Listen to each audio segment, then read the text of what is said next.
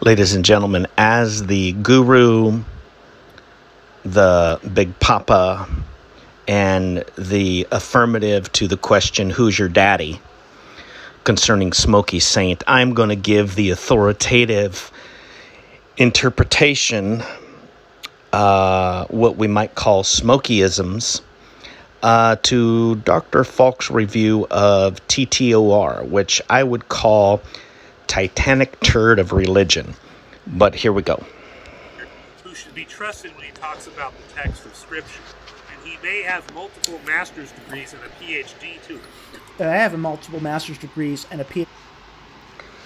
Okay, so let me uh, interpret a bit here. Let's look at uh, Dr. Falk's facial expressions here.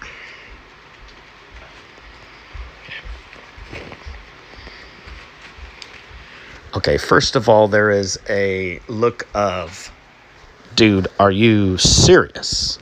Did you actually just say that?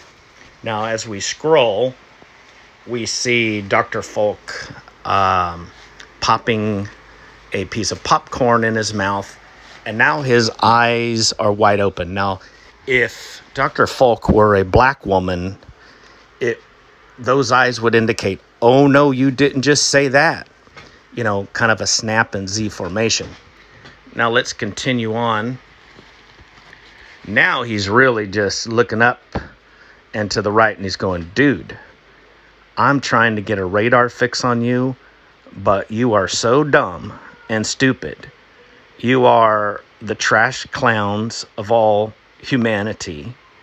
You're a degenerate scumbag, quote, unquote. Now, that's the way Smokey Saint would interpret Dr. Falk's body language here. Now, let's uh, continue. Scripture. And he may have multiple master's degrees and a PhD too. I have a multiple master's degrees and a PhD and a sock puppet.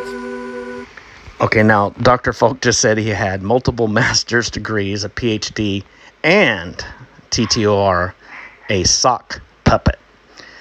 Now, the sarcasm I don't want you to miss.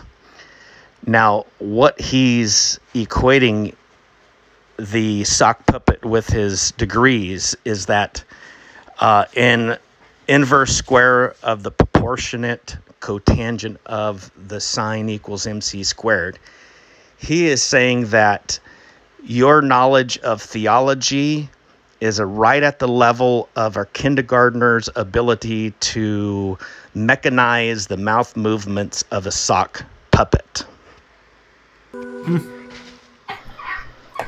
and now Mrs. Falk finds it so funny that she's laughing in the background and actually interrupting uh, Dr. Falk's uh, pre recording here. It, it's funny.